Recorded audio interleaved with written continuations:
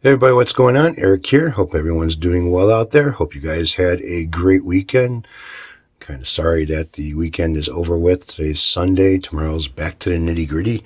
But anyways, um, back to the Kramer guitar and was working on a little bit last night, talking on Skype with a few of my friends, and uh, kind of came across some problems with the Kramer body, which is not a good thing and looked up online to confirm of what I was finding. And uh, yeah, um, we got some problems with the plywood Kramer body. So here's a plastic bag that I've been keeping the body in overnight because I kind of exposed it a little bit and uh, not a good thing. So mold. Okay, you all know how mold works and and uh, what happens when things are stored in damp areas or uh, especially wood. And this guitar has been stored in a damp area. Like I said, uh, uh, I, well, I don't know if I said it now. Wally ended up having this guitar, I guess, uh, in his basement. And, um, well, if you don't have a finished basement, and the proper ventilation and everything else inside their basements can be damp. And it's not the fault of uh, anybody, actually, it's just the way it is. And you kind of never really uh, think about it because, you know, it's in the basement and you don't really do much. You know, it's not like a living area where you're constantly down in the basement like I am. And, uh, you know, something that you work on or so it's not really Wally's fault that that this happened. You know, it's just it's an old guitar and number one, it's made out of plywood. It's not a solid body guitar, number one. So, you know, that's it's got gaps, holes, pores, and everything else inside of it that are much more than what a solid wood would be. It's plywood. You know, there's not much you could do about it. It's plywood. Now, I was doing some work on this thing, shooting the shit with some friends on Skype, and I started to pull out the inserts for the Floyd Rose. Now, they came out pretty easily. All right, they were wiggling around inside there, inside the holes. He said something about them being, you know, kind of angled forward a little bit, and they were.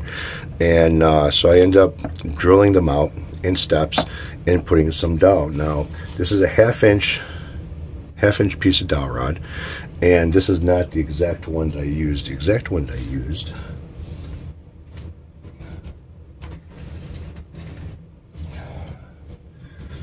is this one here which is oak and uh, you know pretty hard stuff. So what I ended up doing now as you can see here I don't know if I can turn it or not but there is a difference here in size all right? So this is much bigger than what that insert is so I went in steps to drill out these holes. I made a template so I know exactly where the inserts have to go back in when I drill them out. And as I was drilling this out in steps, now I noticed when I pulled these out, it was black in the hole. All right. I mean, it was, it was black, black. Got my flashlight, looked inside of it and kind of like was, okay, um, something's not right here. So when I ended up going further steps with the drill, now the drill went into the wood pretty easily.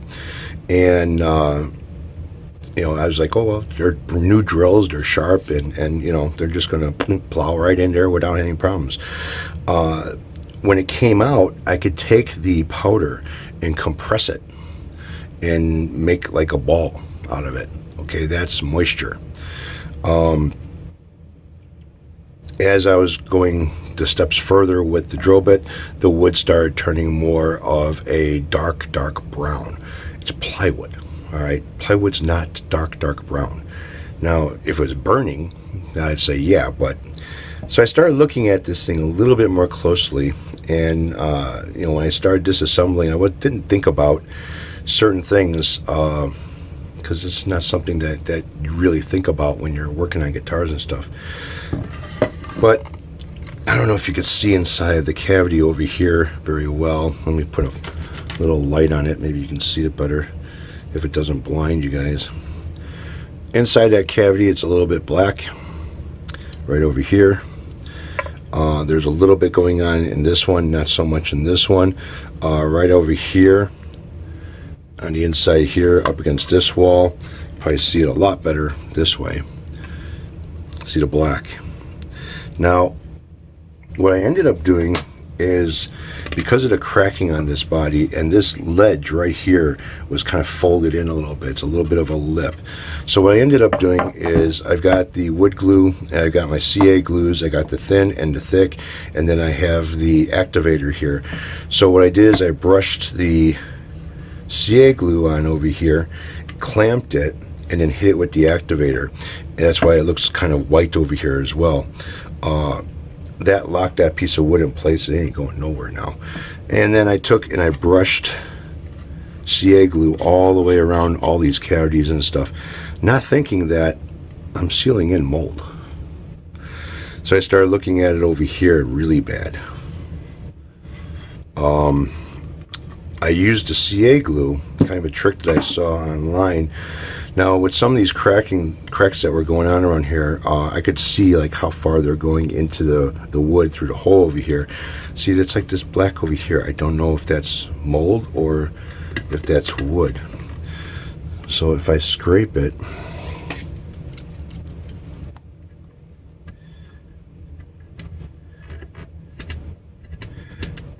it's wood.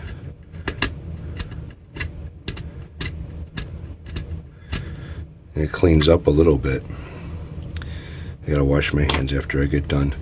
But anyways, uh, I took the smallest shim that I could find and, and the, the, widest cracks that I could find on this body and kind of stuck it inside there to see if, you know, if it's going to go inside the wood or, or, if it's just a finished crack. So they seem like they were finished cracks, but I took CA glue and went all the way around this whole chamber over here just in case because some of these lines inside here that look like a crack kind of matched up with this over here. And it ain't going nowhere you know and the cracks are filled so there's no my nail doesn't go under it and there's cracks all the way around here. These two holes over here and as you can kind of see one of them is, is really black on the inside compared to the other one. Now one the bottom one over here I believe is the one that I took the screw out of. That screw it's pretty long to begin with. And um, let's see, where is it?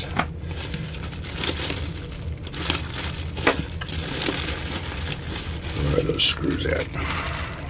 All right, just to give you an idea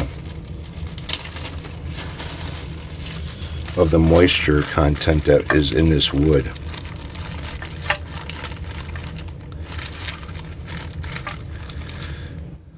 That doesn't, that washer doesn't go on there. This is the screw that is part of the um, the strap lock. Okay, as you can see, this is all rusted. Let me see if I can do it this way. It's all rusted, and the tip is like black a little bit, but it's all rusted going all the way up. Now, when I started to loosen these up to back them out of the body, uh, it was like a few threads that were in the wood, and the rest of it just pulled out. Same thing with the one that was on the horn as well. It was the same way. So that's the bad news about this, all right? And I don't think, I mean, you guys tell me, because you guys, some of you guys have been around guitar stuff a lot longer than I have. Um, I don't think this is going to be savable. I glued in the oak uh, dowel rods in here. They're inside there. Sat overnight. Um, but I'm worried that give this guitar another few years and it's going to end up snapping in half the body because of the mold is eating the inside of it. So I don't know. I mean, this is kind of a territory that I have not gotten myself into. Now it looks kind of messy because of all the the glue that I put over here, but that's to seal up, you know, all these edges and to make sure like there's a crack over here make sure that crack is sealed. And the CA glue works really well with that. The uh, Titebond is kind of a thicker thicker glue so it really won't get down in there as much as I would like it to like the CA glue thin would get in there So you guys tell me, is this going to be something that is savable without having to dip it into some solution to kill the mold that's growing on the inside of it? I've seen mold on outside surfaces before, but never seen mold inside of wood like this. And from what I looked up online, um, mold can penetrate inside of plywood and start eating it from the inside out. So that's the bad news about this. The good news about this is is that I found a body for him. And it is the same cutouts as far as the uh, the pickups. I don't know what body this is. And the other body that I found is got me a little bit more of sharper lines going around the edges, but pretty much the same thing as exact same thing as this one here. So I bought it. You know, Wally sent me um, sent me a couple bucks uh, to do the job, and I told him I'm using the money to get parts and stuff for the job, and uh, that's exactly what I did. So I ended up uh, picking up this body here, and as you can see, the edge is a little bit more sharper, but it's the same thing. So what I'm going to do is once that body comes in, I will compare the two bodies together, put the neck on it, measure for the, uh, uh, you know, the length, the guitar length that it's supposed to be, and start to build from there. Meanwhile, this body here is going back inside of its plastic bag. Um, yeah, it's kind of a bad thing but if I ended up if I ended up doing this build and not saying anything about the mold and say two years later this guitar crumbles because the mold content inside of it just took over and, and ate all the fucking wood um, I'd be the one who'd be probably at fault with this because I didn't warn or say anything about what was going on with his body. And I feel kind of bad for him because uh, he loves this guitar. I don't know if this is one of his first guitars that he ever had. He's had it for a long time. Uh, so I feel kind of bad for him about that. And the new body should make up for it. Now the headstock is done as far as that goes. I just have to wait for a decal, decal, and I can go ahead and finish the whole neck. Um, I got the frets already. One of the cool things about this is it's got the stock pickups for the bridge or for the neck and the middle, but the center pickup or the God, I'm getting all confused.